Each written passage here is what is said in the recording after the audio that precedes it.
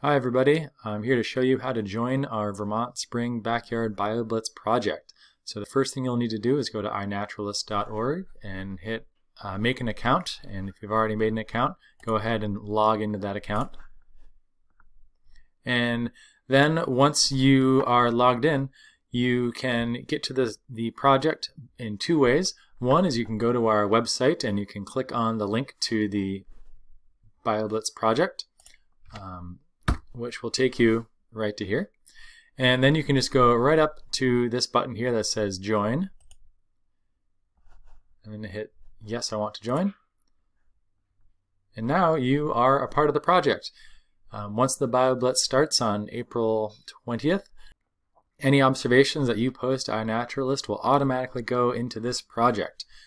If you need help finding the project, you can also go over in the top bar here in iNaturalist to Projects, and here you can type in Vermont Backyard BioBlitz and you can find it that way, the Vermont Spring Backyard BioBlitz. And that'll bring you right to the same page. This is how you join the project. And once you've joined the project, all you got to do is start making observations on iNaturalist and check back on the project regularly to see who else has contributed. Thanks.